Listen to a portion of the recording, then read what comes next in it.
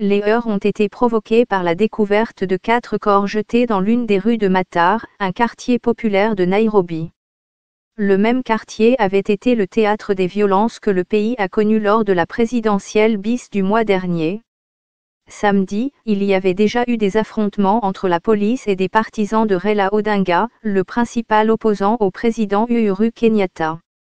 Raila Odinga avait boycotté le scrutin présidentiel repris.